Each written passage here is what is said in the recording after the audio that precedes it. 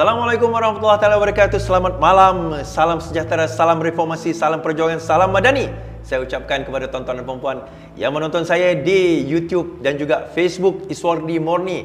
InsyaAllah malam ini kita bersama bertemu special dengan satu tetamu yang istimewa Dr. Mazli Malik. Yes, welcome doktor. Terima kasih. Satu watak yang kontroversi mungkin, satu watak yang misteri mungkin, satu watak yang uh, muncul di dalam karier politik mem- membawa pelbagai corak, pelbagai cerita. Uh, satu watak yang dikenali bukan setakat dalam politik tetapi juga dalam dunia pendidikan. Dan insya-Allah bersama dengan saya malam ini kita nak bercerita banyak kisah. Ha, kita tak ada time limit ni, eh. saya bukan TV. kita tak ada time limit, kita cerita je. Berapa banyak, setakat mana kita boleh luah, kita luah. Kita bercerita dan ada kemungkinan benda-benda ni kebanyakannya kita tak tak tak baca, tak baca, tak dengar, mungkin kita tak tahu, mungkin kadang-kadang doktor sendiri pun tak terfikir nak cerita. Ha, kita bercerita malam ni insya-Allah. Kisah-kisah daripada awal penglibatan dengan politik uh, berminat taklah daripada awal sangat daripada kecil tak adalah tapi pada awalnya sehinggalah uh, mereka kita dipilih masuk ke dalam parti menjadi menteri kemudian ada kontroversi-kontroversi kisah-kisah kemudian Sheraton dan sebagainya kita bawa sehinggalah uh, ketika dan saat ini insyaallah ha jadi insyaallah mungkin uh, sedikit sepatah dua kata dari doktor silakan Okey, terima kasih. Assalamualaikum. Uh, salam sejahtera kepada semua. Uh, saya ada dengar intro Is tadi apa misteri kontroversi macam Batman pula bunyi. macam Batman macam Batman tak eh ada misteri sangat awal. Okey. Dan uh, terima kasih kerana sudi bawa saya live dan terima kasih kepada para penonton sekalian yang saya dikhabarkan dah jutaan sekarang bilangan. Alhamdulillah lah. Okay. subscriber ratus ribu. Tapi kalau view tu masuk ke juta lah. Oh. Alhamdulillah. Okey, doktor, eh, tak ramai yang tahu eh, bahawa sebenarnya kita ni bukan kenal baru sekarang. Ha. Kita sebenarnya kenal Dua dekad. Dua dekad. Ha. Rasanya masa kita, saya dekat UK dulu kita dah mula berkenalan. Kita dah kenal bila kita balik saya balik Malaysia. Masa tu kita pernah kalau doktor ingat lah kita pernah bagi talk bersama Ya, ha, berkenaan betul. dengan isu-isu tertentu hmm. kan. Ha, Palestin, eh? Ah Palestin lah tentang isu Palestin. Uh, dan dan lepas itu saya mula mengikuti rapat career political doc, politik doktor bila doktor menjadi moderator kepada siri-siri uh, apa orang kata Sinar. forum uh, sinar dan sebagainya. Now pada tahun awal lepas 2016 2017 ialah masa itu dah mula aktif dengan dengan politik. Doktor mula-mula menyertai parti politik apa sebenarnya? Boleh cerita sikit tak pada pada awal pelibatan tersebut? Dia kalau ikutkan tentang penglibatan politik Hmm. semenjak tercetus reformasi lah. Saya rasa dia titik tolak bagi ramai orang Ya, daripada ya, generasi kita yang boleh saya kira 40 tahun ke atas ramai yang tercebur politik ni semenjak reformasi lah. Ah, Sama ada pernah turun di jalan raya, pernah bermandi asid, Ya. pernah menghuni di lokap ke semua kan. Tapi saya kira generasi itu uh, memang terdedah dengan itu. Dan tahun 99 saya pulang daripada Jordan Hmm. uh, terlibat sekali ialah bersama dengan demo-demo yang dianjurkan dan pilihan raya 99. Yes, betul. terlibat dengan Pilihan parti raya, parti keadilan. keadilan. Adil, yes. ha, itu jam belum belum PKR lagi eh, belum keadilan apa parti keadilan Keadilan rakyat. Rakyat, ya. Keadilan. Jadi itu saya sendiri terlibat aktif lah dalam uh, kempen-kempen dalam apa tu pilihan raya. Um, kemudian mengajar di UIA biasalah kita PJ Tapi, tapi masa tu mengajar UIA kemudian terlibat politik tu tak ada tak tak serius. Oh, tak tak serius. Lebih kepada ada demo kita pergi, ada ceramah kita pergi, Hmm. Uh, perbincangan-perbincangan tapi sekadar menjadi ahli biasa. Tapi itu jam saya tak tahu macam mana keahlian tak ada. Tak ada lah. Kita pun tak tahu kita borang. register. Betul. Ah, Borang tak ada. Tulis ah, Ya, borang pun ya. tak ada tapi kita pakailah baju keadilan apa. Ya, ya. Itu titik tolak lah. Ah, Dan tak ramai yang tahu uh, antara bidang doktor juga adalah uh, dalam political sebenarnya kan. Kalau Hmm, ya. ikutkan Good- good dalam, governance. dalam bidang apa tu? Dalam Dia dalam bidang good governance lah, tata kelola ataupun takbir urus lah. Dalam PhD ataupun PhD. dalam PhD itu dalam takbir urus. Ya, sebab latar belakang saya master dan degree lebih dalam bidang syariah lah. Betul. Bila pergi PhD saya buat dalam bidang governance.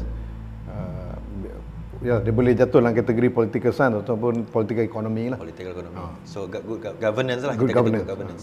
Baik, ba- lepas balik Malaysia tu uh, maksudnya tahun 9 dengan demonstrasi dan sebagainya dan terlibat Okey, tahun 2010 uh, dia ada satu lonjakan dalaman.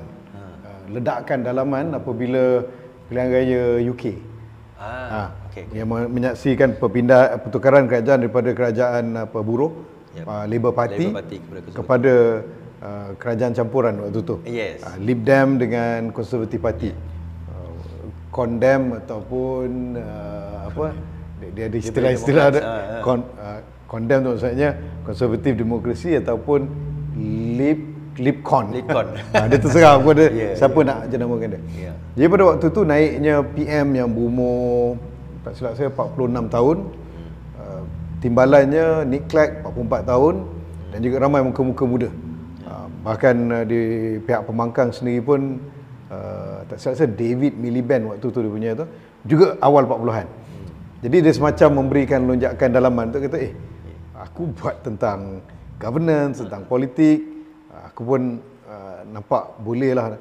Jadi bila balik tu, saya mula terlibat dengan, saya kira waktu tu saya masih terikat dengan UIA. Jadi uh, kalau nak tinggalkan UIA, kena bayar bond sejuta. Oh masa tu Eh PhD. sorry bukan bond, apa Uh, apa pinjaman. tu pinjaman, loan uh, sejuta. Jadi saya kira tak apalah kita terlibat sebagai intelektual awam dalam mendidik lah. Jadi bila kita lihat politik di UK yang begitu uh, maju ke depan matang, saya bercita-cita untuk mematangkan rakyat dengan politik sedemikian. Maksudnya bukan lagi bicara tentang apa tu perkauman, bicara tentang Benda-benda isu picisan lah kita titik kata. bengik kan. Ha. Tapi kita bicara tentang polisi, tentang uh, hala tuju ekonomi, kita bincang tentang uh, tata kelola, benda-benda gitulah.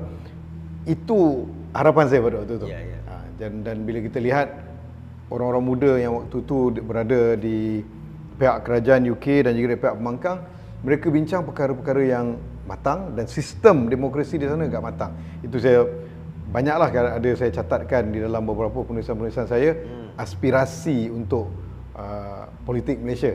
Dan mungkin boleh kita lihat tercena dalam uh, PhD saya itulah tentang Ya, good governance. Good governance. Sebab ada satu buku yang tertulis terbaru eh, uh, Madani Siasi. Siasi Si- Madani. si- Siasah Madani. Siasah Madani, sorry. Siasah Madani. Uh, saya baca halfway eh. Uh, menarik eh. Pemikiran-pemikiran doktor ni selagi dengan pemikiran saya sebenarnya. Terutama uh, bila menyentuh persoalan tentang politik Islam. Ya. Sebab rasanya kita tak akan duel detail dalam tu. Itu mungkin sesi lain. Uh, terutama bagi saya saya nampak ada di antara gerakan politik Islam yang masih lagi terkurung dan terkongkong dalam kaedah pemikiran yang tahun 1920-an punya gerakan Islam. Ya, ya, ya. Terutama kalau kita kalau kita faham dulu seperti uh, apa Ikhwanul Muslimin, uh, Jamaatul Islami sebagainya, uh, tulisan-tulisan Said Kutub yang awal, eh, uh, Muhammad Kutub dan sebagainya. Uh, yang yang nampak lebih lebih orang kata apa lebih konservatif berbanding dengan contemporary punya penulis seperti Dr. Yusuf Al-Qardawi dan sebagainya kan. Dia, dia pada waktu tu kalau kita perhatikan pemikiran-pemikiran itu lebih uh, berkembang suatu perang dingin. Ni saya global lah. Okey okey. Perang dingin dan uh, di zaman kemerdekaan negara-negara dunia ketiga yang dijajah. Hmm, hmm. Jadi kalau kita lihat mereka punya wahana, mereka yeah. punya apa tu wacana sorry, wacana mereka diskurs lebih berkisar tentang revolusi sebenarnya. Betul, revolusi. ha, revolusi. Yeah. Dan cuba didapatkan legitimasinya dengan kejatuhan di tahun 20-an apa ni Khalifah Utsmaniyah semua. Ya. Jadi mereka cuba mengambil legitimasi terhadap perjuangan revolusi atau kemerdekaan dengan mengaitkannya dengan kejatuhan khalifah lah. Ha, jadi negara apa ni dunia berkembang, kita lihat politik berubah, ekonomi berubah, gaya hidup berubah. Itu yang lihat uh, berlakunya evolusi terhadap uh, pemikiran politik Islam itu sendiri dan hmm. ini bukan baru kalau kita lihat sepanjang zaman daripada zaman Nabi Zaman sahab, apa zaman Nabi politiknya lain, zaman hmm. sahabat politiknya lain. Betul. Zaman Muawiyah, apa Umayyah semua oh, lain. Ya. Jadi memang perubahan sebab politik itu sendiri dia macam kehidupan manusia yang sentiasa berubah.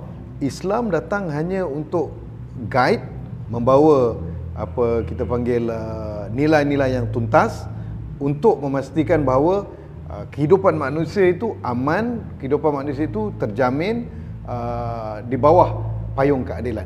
Sebab tu kita konsep yang kita bawa ni melihat kepada payung which is maqasid hmm. syariah. Yeah. The objective syariah tu sendiri ya, iaitu untuk melindungi dan sebagainya yang yang lima perkara, enam perkara tu kan. Jadi itu sebenarnya Islam. Tetapi ada di kalangan uh, parti politik Islam, sokol parti politik Islam, melihat politik itu sebagai akidah. Tidak berubah. Sebab itu ada perbahasan baru-baru ni ya, dengan seorang ustaz. Daripada PAS, ya, oh perlembagaan kita ni kafir, therefore kita kena tukar kepada perlembagaan Islam. Dia kata. Jadi kita soalkan Islam tu bagaimana perlembagaannya? Saya, saya tak pastilah bagaimana uh, diskurs ataupun wacana yang mengatakan perlembagaan itu kafir. Hmm. Kerana kita lihat hari ini Presiden PAS pun sentiasa cerita tentang perlembagaan dan ketika angkat sumpah di parlimen pun hmm. memang sebab saya pernah jadi ahli parlimen kita tahu lesikan yeah. sumpah yeah. dan bila kita jadi menteri pun kita angkat sumpah intipatinya untuk mengangkat perlembagaan betul ha, dan perlembagaan itu sebagai satu undang-undang yang disepakati supaya kita boleh hidup bersama tu kan. Jadi pelik lah macam mana dia kata satu dalam satu angle dia kata kafe, ha. tapi dalam angle lain dia menggunakan kekafiran kekafiran tersebut. Dan dia angkat sumpah dengan benda kafe tu. Yeah. Ha, jadi kalau kalau ikut CP-nya sama-sama sama-sama kafe lah.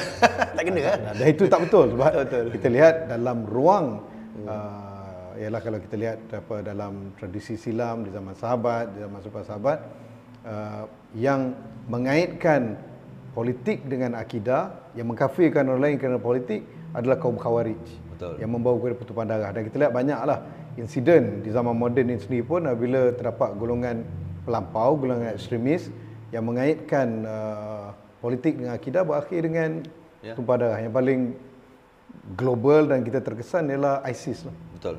Betul. Dan sebelum tu Al-Qaeda. Sebab baru-baru ni uh, satu kajian uh, oleh satu independent body di Malaysia dalam mengkaji sosial-sosial media ni dia dapati perkataan kafe harbi itu masih keluar lagi. Saya ingat lagi doktor dulu pernah terlibat dalam debat kafe harbi itu. Hmm. masih lagi ada anak-anak muda menggunakan kaedah-kaedah kafe harbi itu uh, dalam nak menghukum uh, lawan politik terutama yang bukan Islam. So konsep kafe harbi itu mungkin secara singkatnya lah. Bagaimana masih relevan ataupun tidak lagi dalam? Tak ada isunya. Hmm. Apa ni ada setengah konsep itu dia merujuk kepada uh, politik global di sesuatu zaman. Hmm. Uh, di antaranya pembahagian dunia pembahagian negara kepada kafe harbi dan kafe zimi. Ya. Dia bukan tentang Pada waktu itu. Dia bukan parti. Dia bukan ha. labelkan parti ni kafe harbi, kafe ni tak. Ha. Dia bukan labelkan uh, apa ni uh, kaum. Ini kaum harbi tak. Uh, harbi dan juga apa tu zimi itu uh, lebih merujuk kepada global trend ataupun dipanggil convention politik pada zaman hmm. uh, sesuatu zaman.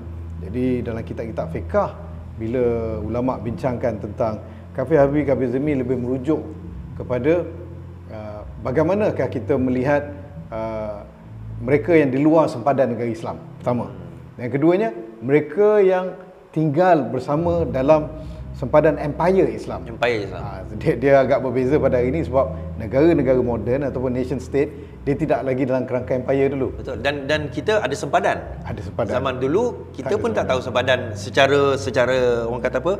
bertulisnya kita kata. Tak ada dan, dan sempadan tu boleh berkembang dan boleh menguncur. Boleh menguncur. Ha, betul. dan sempadan itu pula lebih menarik dulu uh, di antara sesama Islam itu pun ha, kita lihat hmm. uh, di antara satu empire dengan empire yang lain mereka juga mempunyai persepadanan. Hmm. Kadang harbi pada sesuatu negara yang mungkin kita katakan bagi Bani Saljuk contohlah hmm. ini bukan eh, Saljuk tetapi zimmi kepada apa ni Ayubi. empire, ha. Ha, maksud dua-dua negara Islam, dua-dua empire Islam, uh-huh. tapi mereka saling berperang. Jadi apabila kafir itu bersama dengan mereka dia jadi zimmi. Jadi zimmi. Ha, bila bersama dengan musuh mereka walaupun Islam uh-huh. dia jadi harbi. Dia jadi harbi. Jadi saya rasa kadang membawa konsep yang salah eh sorry, membawa sesuatu konsep kepada uh, kita panggil uruf ataupun reality yang berbeza, dia akan membawa natijah yang berbeza lah. Dan natijah tu juga uh, dia bila digunakan definisi yang lama itu itu yang akan membawa kepada ekstremisme. Ya. Dalam agama membawa kepada perkelahian, uh, pertumpahan darah dan sebagainya Ya. itu yang kita nak avoid. Baik. Kita kita move away daripada cerita tu. Kisah uh, ada di, itu kita borak kan cerita YB masuk PKR tahun Ah, okey, okey. Ah, boleh tak cerita sikit sebenarnya uh, sebelum menyertai bersatu tu asal kisahnya YB sebenarnya adalah ahli parti keadilan. Bagaimana tu YB cerita Macam saya katakan lah Kalau nak ikutkan hmm. Di tahun 99 Saya dah menyertai Ya. yeah. Parti Keadilan Ya. uh, Tapi time tu kita Tak- Ahli lah Ahli biasa. biasa. Dan waktu mengajar di UIA pun Sebelum saya pergi ke UK Saya lebih kepada ustaz lah Saya sebab dikenal saya pun Waktu Ya, itu sebagai ustaz, Ha, ustaz. Uh, Bila lepas pergi ke UK Dengan melihat bahawa uh, Saya perlu menerokai Satu ruang yang baru Dan uh, saya dapati bahawa Saya tak tak tak boleh nak carry Title ustaz tu Kerana saya letakkan satu uh, Piawaian yang tinggi uh, Untuk ustaz Dan saya rasa saya tidak lagi uh, Mampu Untuk membawa title tu Dan saya lebih kepada uh, pergi kepada untuk menjadi apa ni intellectual awam lah. Orang akademik. Eh, orang Kita bilang akademik, ya. Tapi dalam satu waktu saya juga uh, membawa satu pemikiran bahawa kita perlu menjadi apa ni uh, dia panggil citizen politician, citizen politics, uh, politik warga. Ya, iaitu Maksudnya, wa- maksudnya politik warga. Setiap rakyat, setiap warga itu berhak menjadi sebahagian daripada pembuat keputusan. See. So dia pun boleh boleh mengemukakan pandangan, boleh mengkritik. Ya, sama ada dia masuk parti atau tak masuk parti, dia sebagai ahli akademik ataupun sebagai Orang ahli biasa. perniagaan ataupun dia sebagai mungkin kita panggilkan uh, orang kampung biasa, uh, siapa pun dia. In fact, e-hailing baru-baru ni kan ada budak tu Ya. dia naik kan dia cakap Perdana Menteri kami punya rate sekian, tolong runding sekian. Itu mungkin Itu politik warga. Ha. Tetapi uh, saya pulang daripada UK 2011 uh, 2010, uh, Januari 2011 saya paling awal telah dilamar oleh apa saya katakan DAP lah. DAP. Ha, sebab mungkin waktu berada di UK saya lebih uh, terlibat dengan Liberal Democrat Party. Uh, dia, dia bukan kan liberal tu bukan merujuk kepada yang orang Malaysia Oh, faham liberal, faham liberal liberal. minum lah apa tak bukan. Bukan. Liberal yang dimasukkan lebih kepada apa politik dan juga lebih kepada ekonomi. Ha, jadi bila Lib Dem dia gabungan di antara kiri dan kanan dia Yep. mengambil center, sentris. Macam center ya. Ya. Uh, dan kebetulan uh, Lib Dem di UK agak pro Palestin dulu. At the time, yep, dulu lah. Agak pro Palestin dan juga uh, banyak isu-isu dia yang lebih disenangi oleh orang Islam uh, marhain di UK. Kalau orang Islam yang agak kelas sikit mereka lebih pilih konservatif Yeah. parti, parti konservatif. Kalau Yang, yang lebih more on the right kita Ha, kata. kalau yang left ataupun buruh unionis dia akan pilih left, Left, ya. tapi ramai yang macam kita kata terpelajar dan sebagainya mereka lebih memilih untuk Lib Dem. Ya, jadi itu bila balik bila pulang tu saya dapati DAP membawa banyak dari segi polisi uh, yang berkaitan dengan apa yang agak mirip dengan sentris pada Lib Dem. Uh, tetapi saya lebih berkawan dan rapat sehingga dan mereka banyak uh, apa pada saya memberikan inspirasi semua. Hmm. Cuma yang agak serius uh, melamar untuk saya bertanding adalah Parti Keadilan lah. Pada waktu saya itu. ingat uh, ini kita cerita semua lah. Cerita, eh, cerita, tak apa. Reveal Uh, all. Hujung uh, 2011 waktu hampir Christmas uh, saudari Nuriza, uh, apa Nuriza, Nurul Izzah. uh, dengan apa ni bekas suaminya Raja Syaril bertemu dengan saya. Ha. Dia kata uh, election uh, general election just around the corner.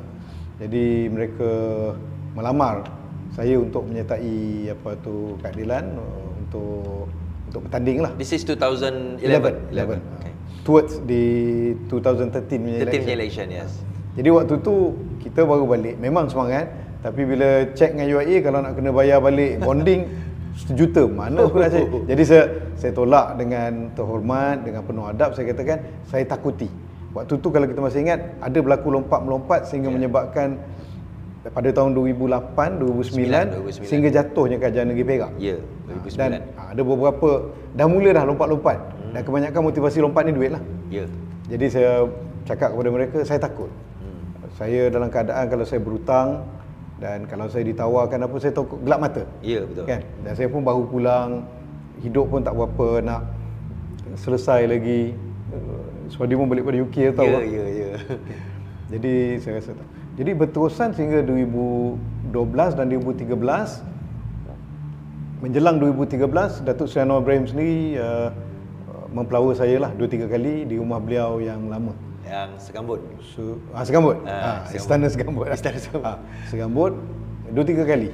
Kebetulan saya ada bawa tetamu-tetamu daripada luar untuk bertemu dengan beliau. Ramai kita tahu ramai orang bila daripada luar ni kalau yang sama ada ulamanya, sama Ya. ada pemikirnya, ahli akademik walaupun pada waktu tu beliau ketua pembangkang tapi lebih pilih untuk bertemu dengan beliau. Ya, betul. Ah, betul. Jadi bila saya bawa bawa mereka jumpa setiap kali bawa uh, Datuk Seri waktu tu akan apa ni timbulkan isu lah sehingga uh, menjelang pilihan raya 2013 waktu 2012 hmm. saya bawa tetamu uh, waktu tu penasihat kepada Sultan Oman yang lama Sultan Qabus sahabat saya uh, jadi Datuk Seri cakap dengan kawan tu lah. Ya. Dia kata, eh please tell your friend Mazli ni, ask him to join. Kita we want to change the government.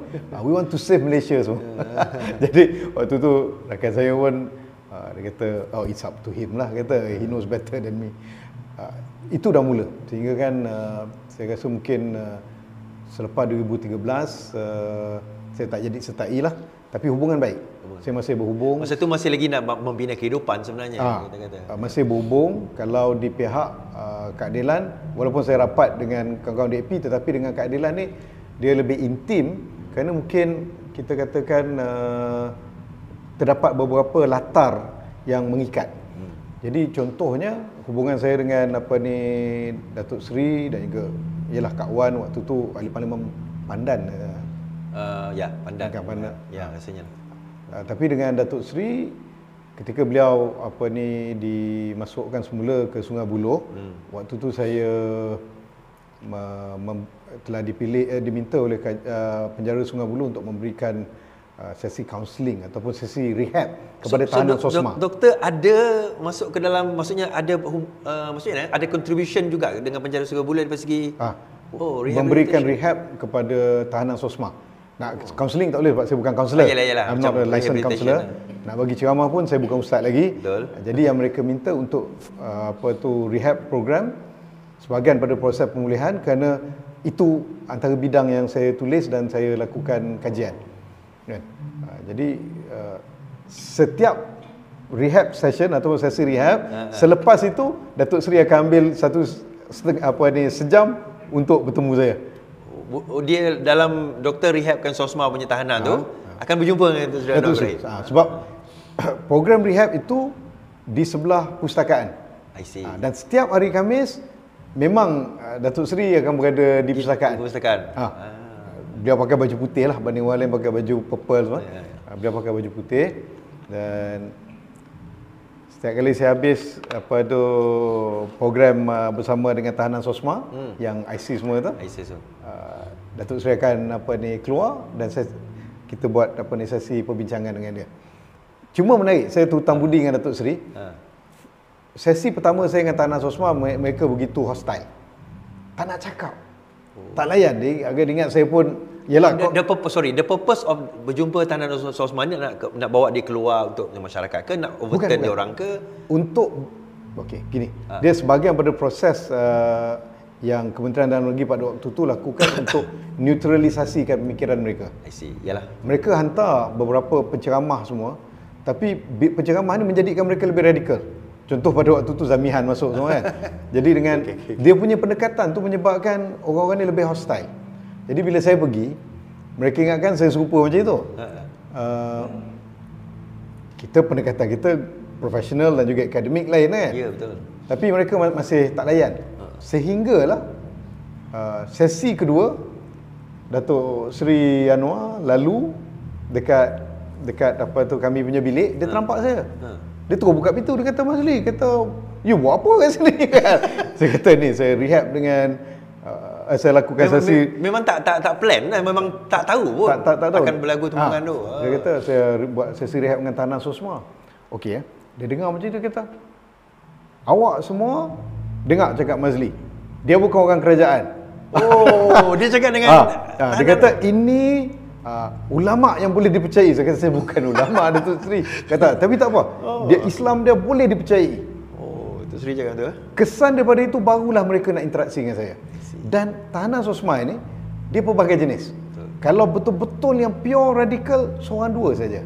Yang selebih daripada 60 itu orang yang apa yang kita kata wrong Ikut. time at the wrong place. Oh. Ha, kerana mereka memiliki stiker ISIS kena tangkap, see. IO buat report apa, bawa mahkamah dia jatuh bersalah. Ada buku macam yang tahanan itu ada buku. Ada buku, kadang-kadang mereka download daripada internet, ada simpan gambar semua ataupun separuh tu kirim wang kepada abangnya yang berada dekat Syria. Ha, ada yang membiayai keluarga orang yang pergi Syria. Jadi eh, apa dia guilty by association. Ya, ya. Bila bawa ke mahkamah, malangnya pada waktu tu mahkamah apa ni bergantung kepada ah, penasihat pakar tak tanpa perlu saya sebut nama lah. Yalah. Apa yang menasihatkan kepada ah, apa tu kerajaan pada waktu tu bahawa Tangkap. orang ni bersalah. Akhirnya mereka dijatuhkan 7 tahun, 15, 20 tahun yang mana saya lihat pada waktu tu akan meradikalkan mereka lebih lagi lagi. Ya. Sebab dia duduk dalam satu compound. Ya. Daripada tak radikal akhirnya dia Ya. jadi radikal. Ha, Tapi nak ceritanya, Ha. yang ramainya kat situ merupakan orang biasa. Dan mereka tak radikal pun, cuma ialah minat macam itu trending kan. Dan mereka ni begitu kagum dengan Datuk Seri Anwar. Ha. Jadi bila Datuk Seri Anwar cakap macam gitu, selepas tu baru mereka terbuka untuk bincang. Jadi itulah dan maksudnya cerita hubungan dengan Datuk Seri Anwar ni Ya. dalam Sungai Buloh pun Sungai ini Buloh. orang lain tak ada tak ada privilege seperti itu. Ya, dan doktor pun tak ada cerita tempat lain ni. Ni first time kita. saya, dah. tak. saya, Ah, saya, terbuka lah. Saya teringat waktu saya cerita kepada waktu saya Menteri Pendidikan eh, Ah, ah, ah. saya cerita kepada Perdana Menteri pada waktu itu Ah, ah. yang kita tahu sikapnya terhadap Datuk Seri Anwar. Ah. Terkejut dia kata, "You jumpa dengan you jumpa dengan Anwar dalam penjara." Agaknya kalau saya beritahu dia awal-awal, saya tak dapat jadi Menteri Pendidikan. ah, tapi dia terkejut saya kata, "Ya, I jumpa dia kata dia selalu ada kat library ya buat sesi dia. Oh, you come back dengan Anwar kata. Oh, dia tak Ya, tahu. Dia tak tahu. Ah, jadi bila dah bila cerita tu biasalah ada yang cucuk kan. Betul lah. Okay, kita bawa cerita yang macam mana daripada PKR tu, tiba-tiba. Oh, Ah. dan nak cerita PKR. Ah, ah. Secara rasmi saya menjadi ahli, saya didaftarkan oleh apa uh, ahli parlimen Nampang pada waktu itu. Zuraida. Kak Zu. Kak Zu. Okey. Dia dia daftarkan saya dengan isteri saya semua hidup. Hmm. 2017. Ya. Ha, jadi keahlian saya pada waktu itu memang keadilan Nampang. Ni nak nak masuk nak masuk uh, PRU 2018 dah ni. Towards that. Towards that lah. Ah, Oh, 2017. Ah, dia minta tu jam tak silap saya dia di, waktu memujuk tu beliau Rafizi uh, ada dan uh, Az, dia orang geng Azmin satunya asalnya satu grup dia orang ni. Ya ya ya ya ya. Pujuk untuk yakinkan uh, jadi 2017 saya tengok eh dekat rumah saya dapat dua kad. Keahlian semua hidup. Itu jasa kad Zu terhadap Ada, PKR ya, bawa masuk. Ah, cuma menjelang pilihan raya uh, saya teringat uh, 2018 uh, saya telah dihubungi oleh Datuk Rais Rais Hussein Rais Hussein. Ha. Okey. Saya ingat tu, tu jam saya tengah lari, apa jogging dekat stadium UIA. Saya biasa pagi kalau UIA ni saya jogging dulu baru masuk kelas. Anak-anak murid tahulah biasa nampak kadang dengan baju jogging saya masuk kelas kan. Siapa tu saya tengah jogging tiba-tiba orang call. Call kata oh dia kata uh, nama namanya Rais. Saya pun oh dia kata ni Datuk Rais bersatu ah. Kata you free tak nak jumpa? Hmm. Eddie dia ajak datang rumah dia. Uh, dia tahu bahawa saya ada buat research waktu saya dekat uh, ICS dan juga waktu saya dekat UIA tentang sokongan Melayu terhadap Pakatan Harapan. Hmm. Uh, uh, waktu tu yang buat perkara yang sama juga ialah uh, Wan Saiful, Wan Jan. Wan Jan. Kawan saya dulu. Ya. Kan? Sebelum tu dia PAS kan? Wan Saiful Wan Jan ni. Masa kat UK, Kat UK, dia pas. kat UK, ya. Kemudian dia buat idea apa semua. I see. Uh, dan bila dia pulang ke Malaysia pun kami kawan saya rasa waktu tu dia tak pas lagi lah kan. Tak pas lah. Okey. Tapi nak ceritanya uh, beliau lakukan kajian tentang amanah di Johor. Uh, saya buat pada waktu tu ten- survey tentang Melayu. Melayu Melayu as a whole. as a whole. Uh, jadi bila kita lihat uh, sokongan kepada Pakatan Harapan pada waktu itu nak tak nak kena ada komponen Melayu untuk yakinkan orang Melayu bahawa Pakatan Harapan bukanlah anti Melayu. So maksudnya sokongan itu ada tetapi kom- Tak cukup. tak cukup. Tak Ha. cukup sebab uh, benda yang dimomokkan pada waktu itu oleh kerajaan Ya. ialah Pakatan Harapan anti Melayu. Ya. Dominannya siapa DAP. tu DAP. Ya. Tak ada parti yang Melayu. Jadi bila Tun mengambil keputusan bersama bersatu masuk dalam Pakatan Harapan ada perubahan sikit uh, dari segi uh, sentimen. Jadi pada waktu tu Dat- Dato' Rais cakap dia kata, eh ni kita we are moving towards election most probably in 2018. Dia kata either March or May. Dia kata we need people like you. Kata kenapa pula? Dia kata otherwise you be having all this apa tu former UMNO yang Yeah. orang yang apa tu tak ada credibility itu pada pandangan dia lah. Jadi kata we need peop- apa ni people from academia like you, we need professional. Dia tak naklah orang lompat daripada UMNO masuk then suddenly macam tu lah. Uh, nak lompat dia dia buang UMNO ke kan. tak maksud dia tak nak orang yang tak ada kualiti. Sebab Tak ada pada waktu tu quality, saya ya. ingat kalau masih ingat lagi Ya. waktu kita buat kerajaan PH pun yang ramai buat sijil palsu ni daripada bersatu lah. Ya betul. Ha. Ingat lagi. Kita tak perlu sebut nama lah. Yalah. Ada yang pernah jadi timbalan menteri, ada Ya. menteri besar pun ada ke. besar pun ada. Ha. Semua tipu sijil sebab mereka SPM saja. Ya. Ha, Jadi kalau itulah kualiti yang ada, jadi Melayu yang akan mewakili PH, uh, mewakili bersatu di PH dan akan menjadi pimpin, uh, pemimpin bukanlah Melayu yang ada kualiti yang sepatutnya membawa image Melayu. Jadi itu concern Da- Datuk Rais. Uh, maka dengan sepinggan bihun kat rumah dia, saya ingat lagi dengan buah ciku semua kita bincang. So kita compare, compare notes lah. Compare note, dia kata okey, dia masuk. Saya kata give me time. Sebab di awal uh, 2018 tu hmm. saya sibuk mengajar di UCL dan juga di Georgetown. Hmm. Di US. Saya kata tunggu saya balik balik pada US baru saya buat keputusan. Uh, Wan Saiful ambil keputusan dahulu. Ya, dia join lah. Dia join, tak silap saya dua minggu ataupun sebulan sebelum tu. Ha, Saya ambil waktu yang lebih, berbincang dengan kawan, pergi ke UK, pergi ke US bincang. Dan bila pulang, kita buat istikharah dan tanya dengan family, dengan keluarga semua. Uh, bulan Mac saya ambil keputusan untuk menyertai bersatu. Sebab saya ingat last perjumpaan kita masa tu ada forum. Hmm.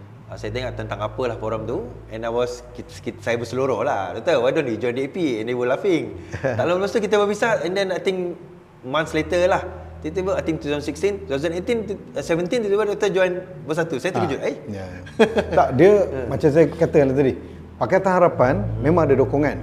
Tetapi uh, we have tried in apa 2008, 2013 kita telah cuba Ya. tapi nampak ada dia tak dapat break threshold tu. Ya, apa-apa dia punya term doktor sebab itu? Dia dua lah sama ada galah sejengkal ataupun Heineken effect. Heineken effect, ya. Okay, Heineken effect ni dia boleh masuk dekat tempat yang orang lain tak boleh masuk. okay, itu contoh yang tak elok lah. Yelah, yelah. Ah, tapi kita kata galah sejengkal. Contohnya macam Yelah. kita nak ambil buah kat atas pokok tu, kita ada galah.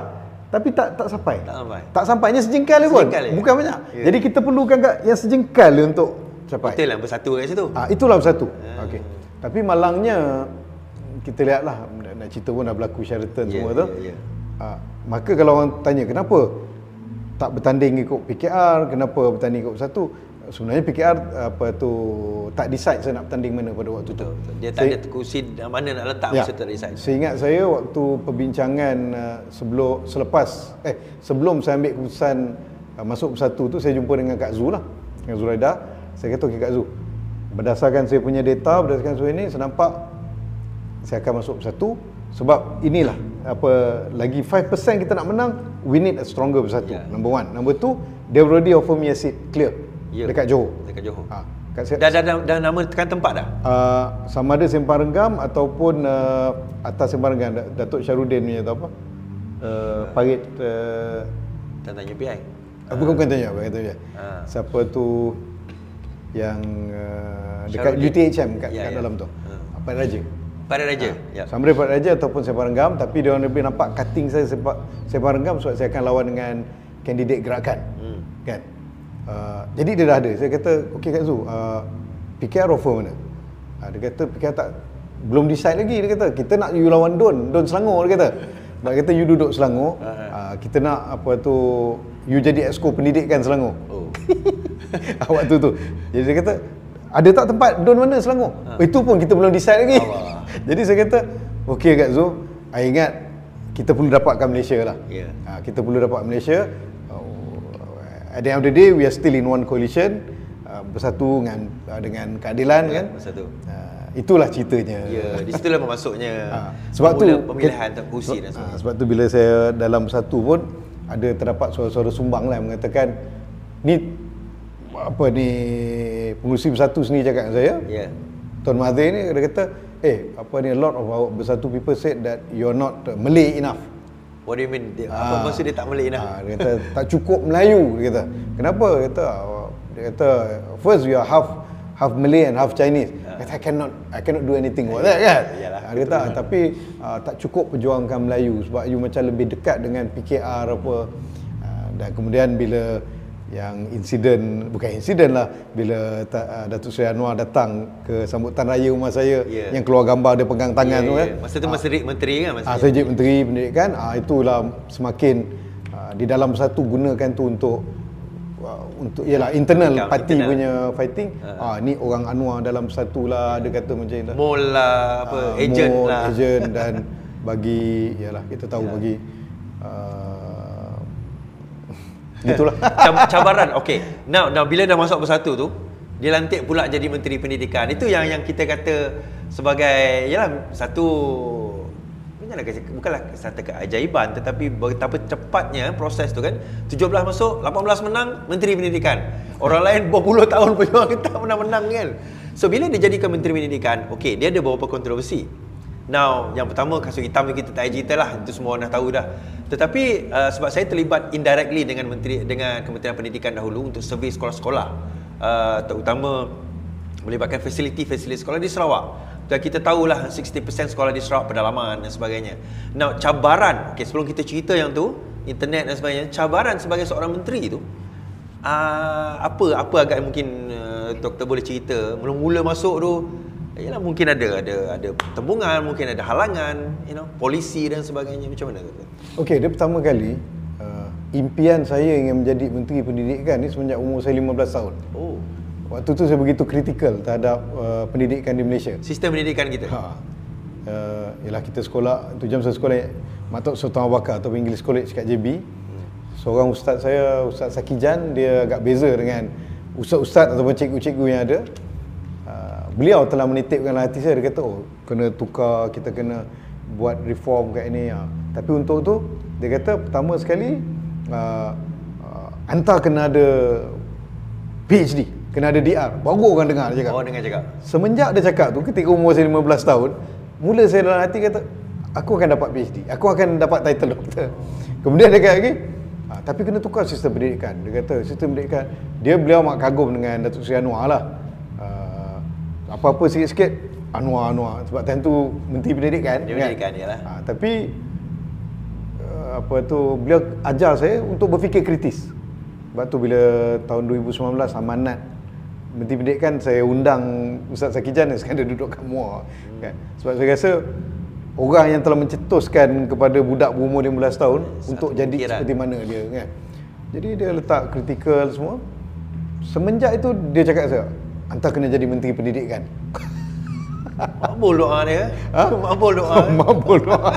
Dan semenjak itulah kalau dalam uh, penulisan saya ke dalam apa bulan kata apa cerita saya kata saya nak jadi menteri pendidikan tapi tak mau jadi orang politik.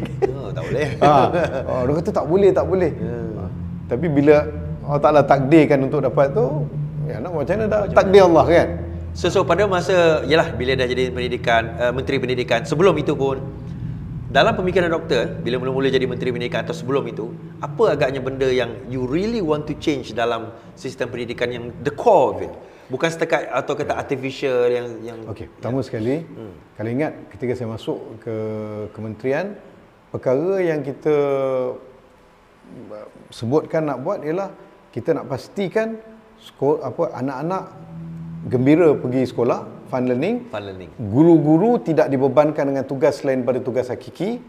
Ah, dan lebih penting daripada itu kita nak wujudkan apa ni pendidikan kita yang bertaraf dunia. Sebab tu kita cerita reform reform reform. Ya, ya, ya. Ah, yalah orang dalam politik dia, dia, mereka mempunyai mereka punya frame sendirilah tu yang kasut hitam sedangkan waktu tu kalau kita lihat pelbagai kontroversi contohnya saya hapuskan SKPMG 2 yang membebankan guru-guru As, apa tadi? S- S, SK, eh, SKPMG 2 SKPMG Ah, Maksudnya apa? Banyak dokumentasi yang guru-guru tempat sisi kan yang benda itu tak profesional. tak profesional pun tak perlu Kemudian bila isu internet yang membebankan guru-guru, Ya. ah, kita cuba perbaiki. Uh, isu guru tak ada bilik yang elok, Ya. kita cadangkan apa ni ruang rehat guru. Uh, kemudian Hmm. dan dan benda tu jadi Orang jadi, jadi. Ha, tapi sekarang banyak tak adalah. Kemudian kur- kurikulum kita agak ketinggalan, kualiti budak kita. Jadi itu semua kita buatkan. Contohnya Jawatankuasa Kajian Dasar Pendidikan Negara untuk develop new education model. Dan dah siap pun pada tahun 2019, sepatutnya 2020 dilaksanakan tapi tak boleh kan. Tak boleh. Ha, tukar kerajaan. Ha, nak hapuskan AUKU. Ha, itu kita 2018 kita buat amendment lagi AUKU. Ha, cadangnya 2020 kita akan replace AUKU dengan Akta 555 dengan akta yang lebih bersepadu so, yang what akan happened what happened to the Akta 55 di draft itu dan usaha itu dah di di dikebumikan oleh kerajaan apa Perikatan Nasional Perikatan lah. Nasional. Okey. Dan kerajaan sekarang saya saya tak pasti ke mana tujunya. Sebab belum nampak lagi. Ha, baru ni Khalid Nordin pun kita tak nampak jelas sama ada beliau nak replacekan akta itu ataupun tidak. dan dan pada masa itu Kementerian Pengajian Tinggi dan juga Kementerian Dua-dua bawah dua-dua satu. digabungkan Ha, Ah, satu. Dan sebenarnya itu yang sebaiknya sebab pendidikan perlu ada penyelarasan. Ya. Lepas tu kalau tanya pada saya, oh tak ke beban besar saya kata tak. Pendidikan sepatutnya daripada prasekolah semua prasekolah tak boleh ada pada sembilan kementerian Betul. ditarik untuk berada di bawah KPM. sekarang ni kan bawah KPLB kan Semua ada. KPLB, KPLB ada, bawah uh, Menteri Agama ada, bawah apa ni KPWKM ada, Ya, bawah wanita. Kementerian Perpaduan, Perpaduan ada. pun ada. Bawah macam-macam kan. Dulu kan ada permata tu semua. Ya. Ha. Dan kemudian kalau tadika swasta itu pula dia nampak sebagai satu yang berbeza. Ya. Itu belum campur yang pasti. Yang, pasti yang pas punya Ah, tadika. itu- Silibus macam-macam. Ha. Jadi saya ingat perbincangan dengan Kak Wan pada waktu tu KPWKM bawah dia uh, melalui Hanayo kita dah bincang. Hanayo pun dia kata dia nampak memang preschooling semua bagi bawah KPM. Sebab pada saya di bawah Kementerian Pendidikan sepatutnya preschool, prasekolah, Betul. sekolah rendah, sekolah menengah, sekolah apa ni pendidikan apa TVET Ya, TVET. dan juga pendidikan tinggi. Ya. Dia kena ada kesinambungan. Kalau kita jadi Jepun pula, mesti itu pun di bawah. Mesti uh, iaitu ialah uh, Ministry of Science and Technology Ha, tu. sebab apa? Segala kajian dia kena bawah universiti. Betul. Sebab kalau kita wujudkan entiti yang lain, universiti pun akan ambil grant kat situ juga. Betul, sama kenapa, juga. Kenapa tidak perbelanjaan itu diberikan kepada universiti? Ya. Tetapi dengan syarat universiti kena otonomi. Ya. Ha, sebab tu yang kalau di zaman saya selalu sebut tentang otonomi universiti, otonomi universiti. Tapi benda itu perlukan kepada apa ni uh, pengubalan akta yang baru, pemansuhan akta yang lama dan itu tidak sempat dilakukan. Walau bagaimanapun saya kira kita boleh google balik lah Ya. pencapaian 100 hari eh, Ya. 100 hari hari. Kementerian Pendidikan pertama kali dibuat dalam sejarah Malaysia Betul. tak pernah buat dan kita kita ada dokumentasinya ada Ya. pencapaian setahun KPM tak pernah dalam sejarah Malaysia buat dibuat dan pencapaian 2019 Hmm. KPM merupakan kementerian pertama yang buat kad laporan kemudian kementerian, lain Kementerian ikut lain buat. ya. Sebab saya ingat pada masa itu eh, uh, antara yang sebab adik saya pun ada cikgu. Ya. Ada dua orang campur ada ipar saya cikgu. So dia kata ni ni sebelum eh sebelum mula semula-mula kita menang tu, dia kata abang, saya ingat dia kata dia orang penyokong kita juga. Bang, kalau boleh lah bagi tahu dengan Mazli Malik, dia ingatkan kita kawan. Masih memanglah kita kawan tapi tak jumpa lah menteri kan. Ni beban kita orang ni teruk sangat bang. Kita orang lah jadi cikgu, kita orang lah jadi kerani, kita orang lah. Ya. Lepas tu satu lagi fraud dia kata tu. Yang Ya. nak kena masuk nak kita orang pun pening padahal dia cikgu IT. Hmm. Jadi dia kata tolonglah bang, tolong. Oh, lepas tu bila yang berlaku, mungkin boleh cerita sikit apa proses sehingga Okey. Ya, yang benda ada dua cerita kan. Eh? Ha. Pertama cerita tentang beban guru. Hmm. Dalam nak selesaikan beban guru, pada saya saya direct tarik apa tu NUTP. Mereka Ah. mewakili guru. Ha, kita dalam tempoh 6 bulan kita ada 16 meeting dengan mereka. NUTP ya. Ha, jadi kita formulatekan formula untuk ringankan beban guru bersama dengan wakil-wakil guru sendiri. I see. Kan? Akhirnya itu yang nampak happy. Betul. Jadi bila Dan dan kita tahu apa kehendak dia orang. Yep, kita tahu kena orang dan saya sendiri katakan benda-benda tu memang mereka punya. Sebab kita nak mereka tumpu pada kerja hakiki, Mengajar. mendidik, mengajar dan membina uh, kemenjadian murid. Itu yang pertama. Yang kedua, isu fraud VLE. Frog Valley ya. Okey. Ini isu paling kontroversial. Yep. Sebelum saya masuk ke KPM, sebab akak-akak saya cikgu. Ya. Kawan-kawan saya majoriti cikgu. Ya. Uh, dan saya pun ialah terlibat dengan mereka. Jadi kita lihat akak ipar pun cikgu.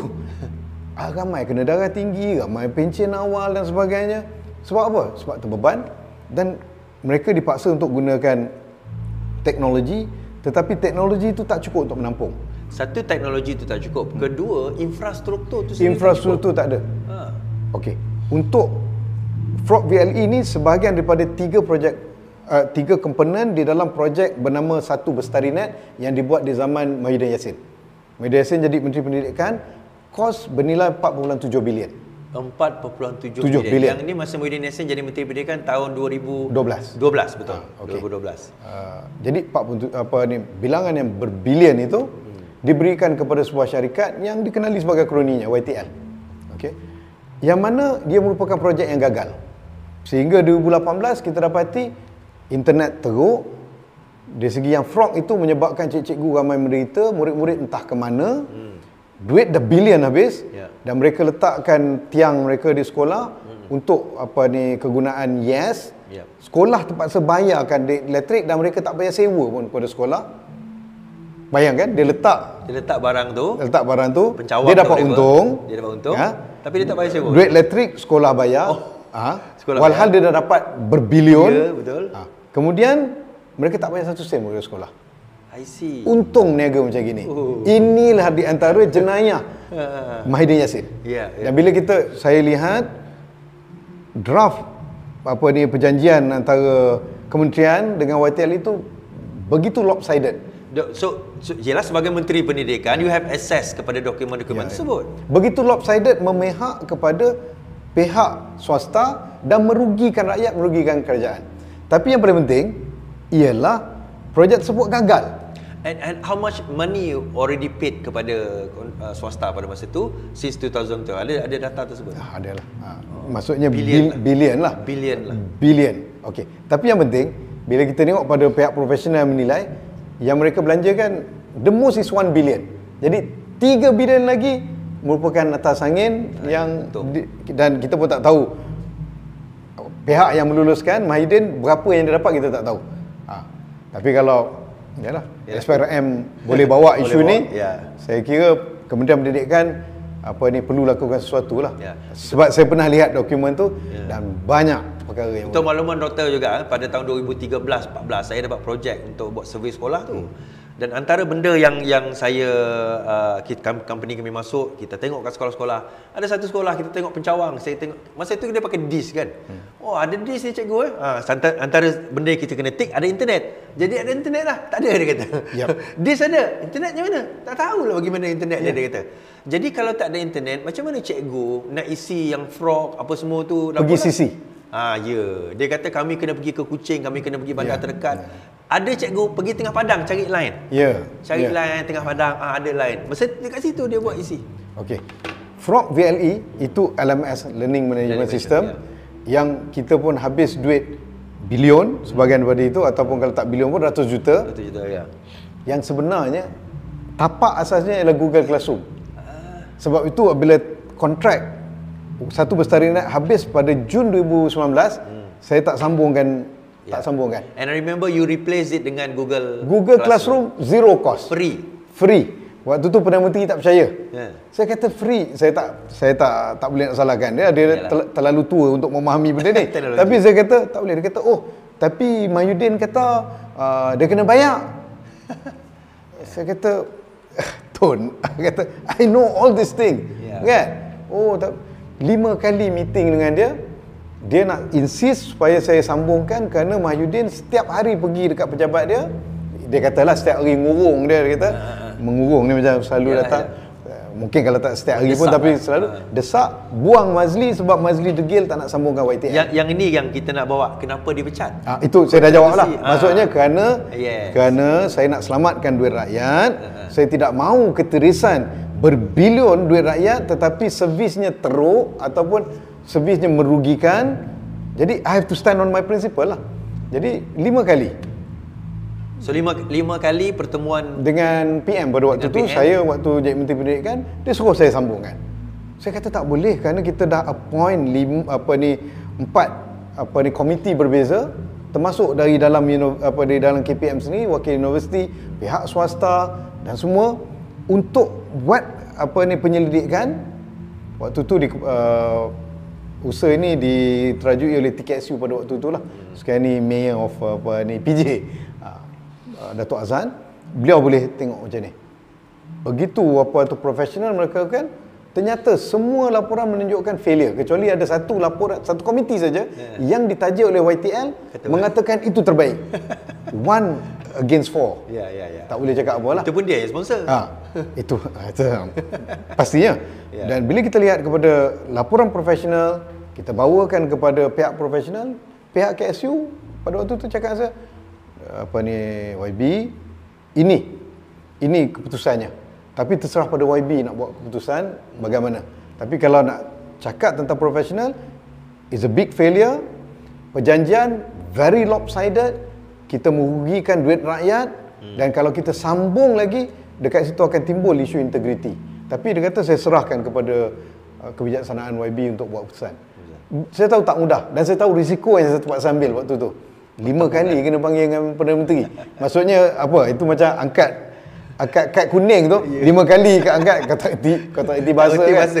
But this is not why apa this is why I join politik in the first place untuk kita dapatkan Good governance. good governance. Yeah. Saya balik pada UK, simpan dalam hati supaya Malaysia menjadi negara yang maju, negara yang uh, mempunyai tata kelola yang bagus, bersih, tidak apa ni meletakkan integriti, tidak mengambil ni. Jadi saya kata okey lah. If this is the price I have to pay, let it be. So, Sehingga lah bila cuti bulan 12 tu ketika sedang bercuti. Ha.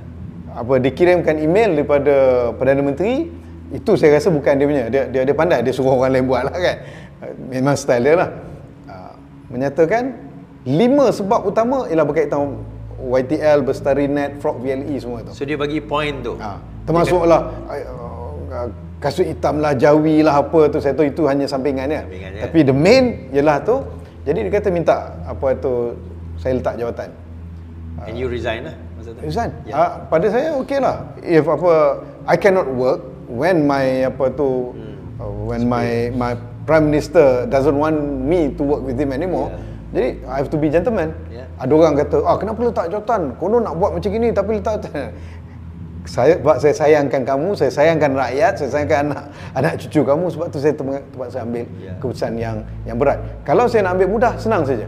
Saya boleh deal dengan YTL, how much you going to pay me? Ya. Ataupun saya jumpa dengan Mahidin kata, okey, uh, Yang mana lah. Tan Sri saya boleh lulukan ni, berapa saya boleh dapat? Kan? Berapa, commission berapa? But itu kita dapat dunia lah. Ya. Ah, kita Ah, dapat ya. dunia.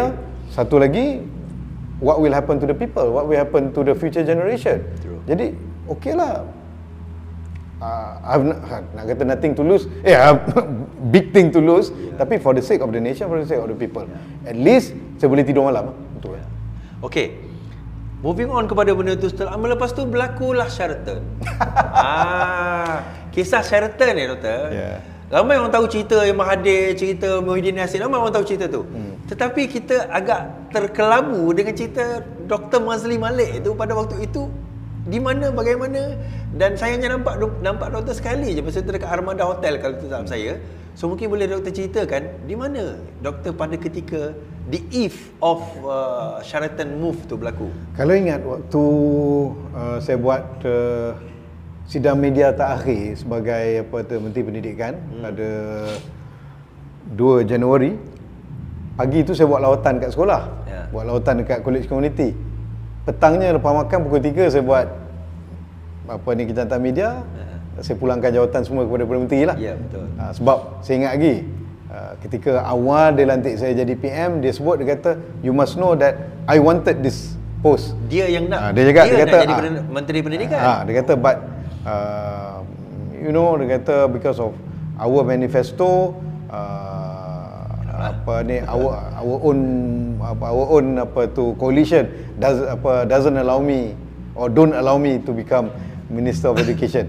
dia nak jadi PM dan juga menteri pendidikan. Ya, masa tu manifesto kita tak benar kan? Tu Perdana Menteri hold another position. Ha, jadi dia kata but I have to give it to you because you're the, you're the only person with qualification from our party. Ya. Ha, saya ingat waktu tu yalah mungkin ada yang lain duduk bercerita jugalah kan Ya, tapi ya. maksudnya dia nampak saya mungkin dari akademia minta saya tu Uh, bila saya jumpa dia kali terakhir sebagai Menteri Pendidikan serahkan surat yang beliau minta untuk saya letak jawatan dia ulangi perkara yang sama uh, I, Dia think, kata- I kata I think you know that I wanted this position Yeah. uh, because uh, I want to change uh, the mathematics and science that been taught to school. Pada dia satu benda tu je lah.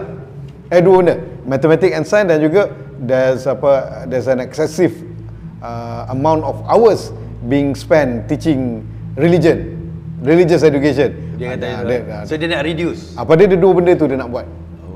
Saya kata whatever you want to do Tun, dia kata please continue all the good things that I've started. Yeah. Kata I know that whatever you mention there's in the letter is mostly political but I've started this this this IR 4.0 TVET education apa semua tu Yeah. you can find it in apa tu uh, my laporan 2019 apa semua tu uh, please continue what I've done. Tapi dia, dia tak continue. Ha? Dia tak continue. I mean dia continue sound. No, but, but, but, no, for him dua benda ni dia nak buat as a minister of education. And that's what he did pun. Ah. Masa tu. Ya, dan in fact kalau yang new education model yang saya utarakan itu pun I don't think he has any interest number one. Number two, siapa ni uh, pemalsuan AUKU untuk gantikan dengan Yeah, tu yeah. lagi dia tak Lagi nak. dia tak nak. dan saya ingat lagi uh, kebebasan akademik untuk untuk pindah Akta 605 Okay. memberikan kebebasan akademik kepada ahli akademik kepada pensyarah semua pun Pun dia tak ada. saya beri kepada dia dia tak tak tanda sampai sud orang orang tahu kata tu dia ada tak sign sampai sud lah ha, kalau ada sign itu maksudnya kita memang akan buat satu sejarah di Malaysia iaitu berikan kebebasan akademik itu kuasa Perdana Menteri ha. tapi nak ceritanya itu yang pertama Okey. yang kedua uh, apa soalannya tadi Sheraton, Sheraton. ah Sheraton Where were you? Okey. Jadi waktu saya kenyataan media tu saya katakan boleh cek balik dekat YouTube ada kenyataan media saya penghujung saya kata there will be a new dawn of, of Malaysian politics in this coming months. You said that because you ada hint ke apa? Saya tak tahu, saya sebut yang benda tu. Oh. Rasanya doa orang terinyaya ni lain tau. Takutilah firasat orang mukmin. Ha, tapi, tapi maksudnya kesan doa tu dengan saya sendiri betul pelantik. Yelah, there will be a new dawn. You were just saying that just for the sake of saying it lah, kita kata. ha, sebab saya sebab saya tengok gini.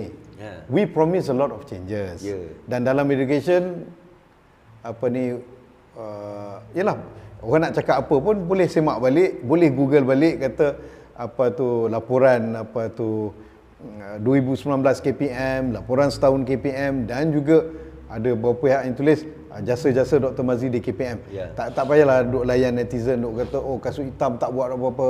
Tak no, check. Sebab tu kenapa sampai hari ni cik-cikgu masih teringat, ibu bapa masih teringat kerana benda-benda yang kita telah mulakan, bukan saya tapi kita mulakan Ya, bersama. ya.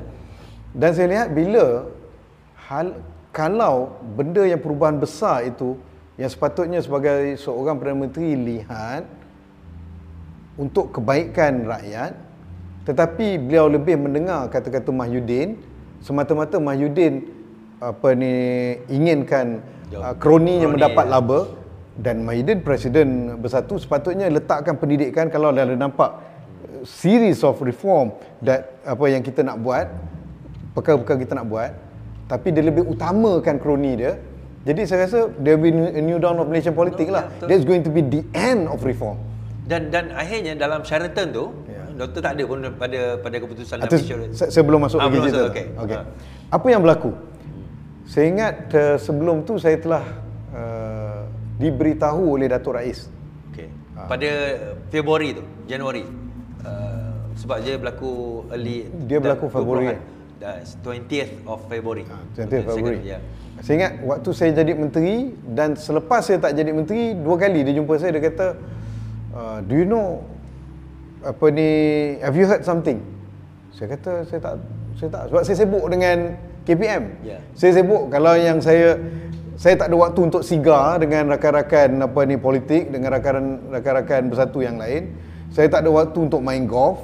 Biasanya benda-benda besar-besar ni sama ada waktu sigar, waktu main Ya. golf ataupun waktu kita sibuk dengan KPM. Ya. Sibuk nak fikirkan apa terbaik untuk cikgu-cikgu, apa terbaik untuk anak-anak di luar bandar, apa terbaik untuk apa sekolah daif. Kalau ingat lagi saya bawa tunjuk apa ni pencapaian sekolah daif pertama kali dalam sejarah Malaysia 400 sekolah boleh diper eh, 400 lebih ke 600 lebih.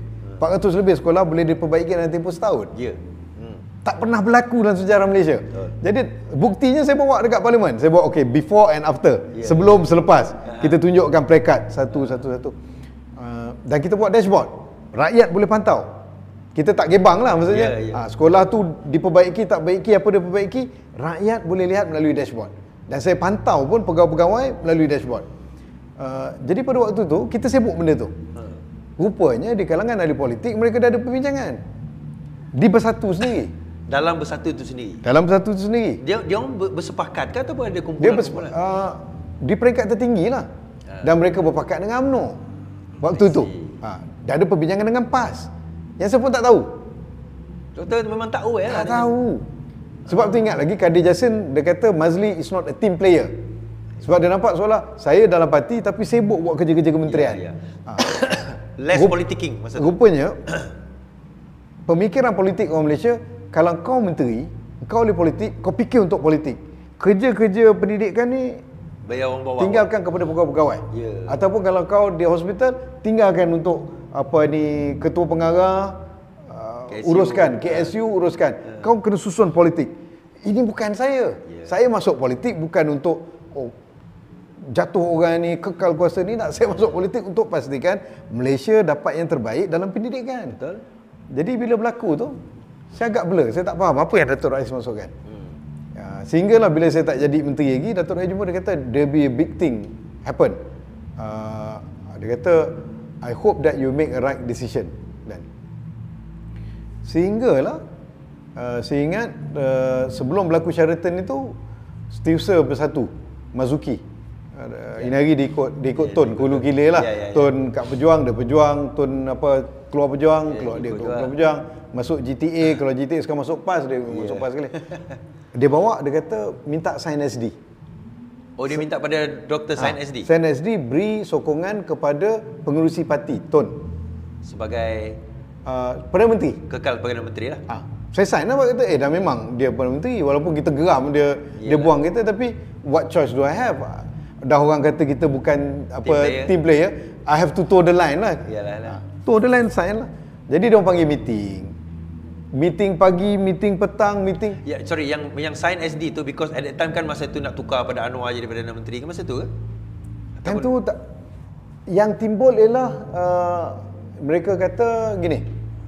Uh, kita nak Tun kekal jadi Perdana Menteri kerana Anwar nak buat kudeta dia kata. Ha, dia kata Anwar nak buat uh, rampasan kuasa semua. Uh, bukan rampasan kuasa lah, rampasan kuasa Dia kasar macam take maksud over lah. ah, take over. Take over. Wal- walaupun kalau ikut kata Datuk Rais sebenarnya memang ada perjanjian. Dia sendiri lihat memang ada sign, Rafizi ada sign, Kak Wan ada sign, Mahathir sign, Mukhri sign Ya. yang menyatakan bahawa apa Mahyudin baru sign selepas 2 tahun berlaku penyerahan kuasa. Memang ada. Ha. I- itu kata Datuk Rais. Boleh Yalah, tanya yalah. dia lah. Dan boleh tanya Rafizi dan juga tanya Kak Wan lah. Saya tak tahu benda ni. Ha. Saya masuk benda tu dah berlaku pun. Yalah betul dia ada sign dia sign already before that. Dan di waktu itu di bersatu dimomok-momokkan bahawa Anwar ada number untuk jatuhkan Tun. Saya waktu tu Yalah kita nak toe the line. Aku dah lah kena buang Daripada jawatan menteri Sebab tak toe the line Bukan team player. Kali ni aku ikut lah jadi team player Ikut arahan Toe the line. Orang suruh sign SD Okey lah sign SD Orang kata oh, Lepas ni kena ikut apa keputusan parti? Ikutlah keputusan parti kan? Uh, Sehinggalah Berlaku meeting dipanggil kata okey kita akan buat keputusan kita akan bersama dengan uh, uh, PAS dengan AMNO dengan ni untuk membentuk kerajaan tanpa siapa PKR. tu PKR dan juga DAP, DAP. dan Amanah. Dan mana ya. Ha, tapi dia kata itu pun dia cakap di kalangan amanah mungkin ada yang akan sokong kita lah apa. Warisan akan sokong kita. Uh, we have bigger number. Uh, waktu tu Mahyudin bawa. And this is uh, 2020 already lah. Or late, late 2020. February. February already. Ha. Uh, jadi dalam meeting sebut yang ada rakaman. Ah, yang rakaman tu. Ya. Okey, okey, okay, tahu. Mungkin kalau siapa dengar rakaman penuh akan dengar saya bawa, saya impose empat soalan. Saya kata kalau kita nak bawa benda ni, saya bawa empat perkara. Pertama, kita akan dicop sebagai pengkhianat seumur hidup. Ya. Takkanlah kita sebagai parti nak kata. Kalau you can give me an answer, mungkin I can rational masa. Yang kedua, saya pun lupa empat soalan tu. Tapi saya impose empat soalan, Ya. tak dijawab pun oleh Maidin. Masa, masa tu yang yang uh, rakaman Maidin cakap kan? Ya. Yang pasal ya about dan hours. rakaman Tuan cakap, Ya, nanti cakap ya. Tuan setuju kan? Ya, Ha, Tun Tuan setuju tetapi Tuan kata dia dah lemah sebab Anwar dah kata nak sokong dia bagi dia indefinite time. Ya, kan lepas tu dia kata infinite. Ah, maksudnya Tuan sampai bila pun sampai bila lah. Saya kat, jadi dia kata tak seperti mana yang diceritakan oleh Mahyudin. Oh, so dah, maksudnya cerita ni Mahyudin bawa cerita lain. Ah, Mahyudin mengikut sumber dia daripada Azmin. Daripada Ah, jadi kalau ikut asalnya dia kata yang akan melompat daripada keadilan yang akan bersama Azmin ada 20 orang. awal dia. awalnya. Uh, jadi uh, waktu tu yang menjadi mastermind ialah Hamzah Zainuddin. Hamzah Dia, Zaini. beliau Azmin menjadi mastermind dalam ni. Uh, saya ingat apa tu tapi saya tak tahulah dalam bersatu ni rupanya kalau ikut kata Syed Saddiq betul saya memang ada series of meeting sebelum dibawa ke And you didn't know about it. I don't know. saya sibuk dengan cikgu, saya Yeah, sibuk yeah, dengan yeah. budak-budak, sibuk kat universiti, sibuk sekolah taif, sibuk dengan memang saya tak ada waktu untuk politik. Jadi bila dikemukakan perkara yang sebegini, saya kata, "Eh, am I ready for this?" Ya, ya, ya. Tapi saya bila fikir tu, tak apalah, ambil lah pengajaran. Kau bukan team player, kau tak toe the line. This is the moment you have to toe the line. Ya. Okay? Sehinggalah, tapi hati tak sedap. Ya. Ha. Sebab saya fikir implikasi yang lebih besar. Kita menang pilihan raya hmm. dengan PH. PH, ya. Tiba-tiba sekarang kita tendang PH. Ya. Kita buat coalition, coalition lain. Dah lemah. Dah lemah, dah lemah. Sehinggalah bila Sheraton berlaku tu, Ha. yang malam Sheraton tu, Ya. saya ke, ke Sempang Renggam. Macam biasalah saya Yalah, balik dah Sempang balik- Renggam balik Sempang Renggam lah. tiga kali seminggu. Ha, Dua kali, tiga kali seminggu gitu lah. Saya dah nak sampai dekat Sempang Renggam, tiba-tiba Masuki telefon. Eh, dia kata you kat mana? Saya kata, I kat Sempang Renggam lah. Eh, balik, balik KL. Kenapa? Ada meeting lagi ke? Sebab saya dah, dah, dah tak larat dah seminggu tu. Meeting? Meeting, meeting pagi, petang, malam apa semua tu. Yang kat Armada salah satu daripada Ya, ya, mungkin. si, siri meeting Ya, tu. siri meeting. Eh kata, I dah nak sampai Sempang Renggam ni. Eh no no balik ni. Ni arahan presiden. Oh. Kenapa? You balik je, pergi kat Sheraton. Pergi hotel Sheraton PJ. Saya pun tu jam saya dengan PA saya dengan kata anak saya ada tak ada? Atau saya dengan PA saya kan? Ke kami bertiga lah saya kata balik lah. Patah balik. Patah dah, balik. dah nak dah sampai Sempang Renggam, balik semula. Balik semula tapi nak cerita kan. Waktu saya nak sampai Sempang Renggam tu pukul 8 lah. Ha, ha, ha, ha. Dah pukul 8 dah masa tu. Ha. Dia orang berhimpun pukul 8, Yalah, pukul pukul kemuncak 8. pukul 9 semua yang ada Yalah. gambar kan. Ya, betul. Saya sampai sebelah setengah, saya sampai orang dah tak ada. Oh, dia tak ada. Habis dah. Ha. Tinggal geng-geng kat dalam bilik sigar. Jadi saya masuk lah. Kata apa yang berlaku? Cuma dekat bawah tu saya nampak lah ada penyokong-penyokong UMNO saya ramai. Penyokong UMNO ada kat situ. Ha. Jadi pelik eh. Saya terus saya kata, eh ini bersatu ke BN? Dia kata, oh tak tak. Dia kata bersatu ramai dah balik. Tapi dia ada lagi kat atas tu. Ha, Saya naik atas lah. Naik atas, dia kat bilik sigar duduk semua. Oh kata, dia be new chapter lah apa semua.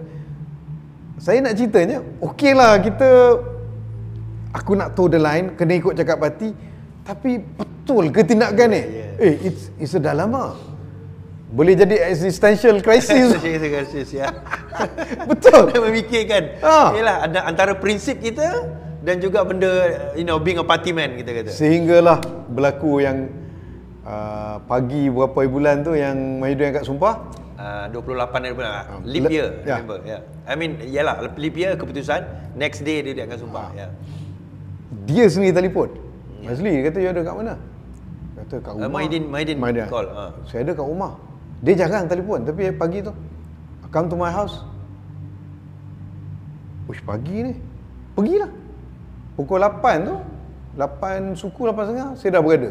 Datang-datang saya tengok apa ni uh, Datuk Sri Zaid Amidi, Tan Sri Hadi Awang apa? Tan Sri Hadi Awang. Oh, mai mai mai Sri. Duduk duduk sebelah, duduk sebelah Ana ni.